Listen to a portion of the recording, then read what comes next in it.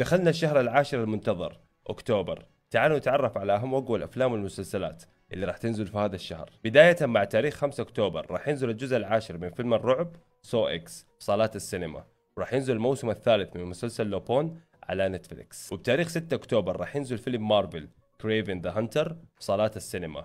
وفيلم الدراما The Burial على منصة برايم فيديو. وبنفس اليوم 6 أكتوبر راح ينزل الموسم الثاني من مسلسل لوكي على منصة ديزني بلس. وبتاريخ 12 أكتوبر راح ينزل فيلم الرعب The Exorcist Believer في صالات السينما.